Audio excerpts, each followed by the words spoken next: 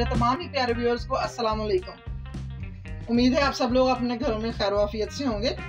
आज हम कंडेंस बनाने जा रहे हैं। बहुत आसान है। घर दी काफ़ी सारी मिठिया चीज़ा बनाने वास्ते की ज़रूरत पैंती रही है। तो मैं कहा, चलो जी, आज इन्हू ट्राई करना है। चलो जी, शुरू करते हैं।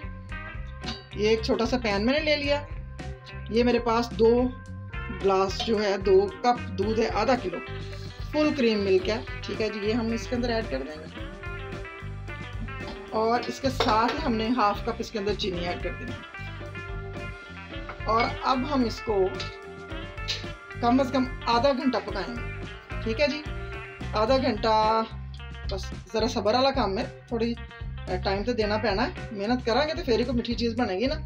चलो जी उसे अद्धा घंटा पकाने तो फिर देखने दी की पोजीशन बनती व्यूअर्स ए देखो, ये कंसिस्टेंसी हमें चाहिए। ये देखें।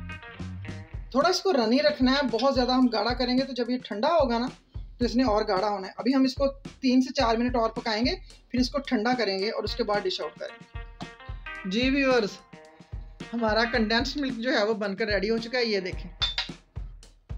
कितना ज़बरदस्त बना है बिल्कुल बाज़ार जैसा।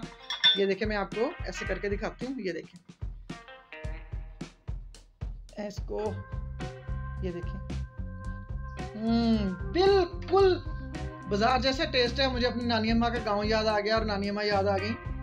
वो बर्फ़ी बनाते थे और हम सारे बहन भाई जब इस पॉइंट पे पहुँचते थे ना तो हम लोग कहते थे, प्लेटें लेके कि हमें दें, हमने ऐसे ही खाना है। अब ये बहाना नहीं चलना कि जी कंडेंस मिल्क नहीं है तो कोई रेसिपी नहीं बन सकती।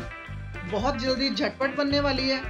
बस आप इसको बनाएँ और कोई भी मीठा जो बनाना चाहते हैं, उसके, इससे रिलेट वो आप बनाने में कोई मुश्किल नहीं होगी आपको। इससे हम और भी मीठी चीज़ें आपको बनाना सिखाएँगे। हमारे चैनल को सब्सक्राइब करें, शेयर करें और अगर वीडियो अच्छी लगे तो थम्स अप ज़रूर दें। अगली वीडियो तक अल्लाह हाफिज़।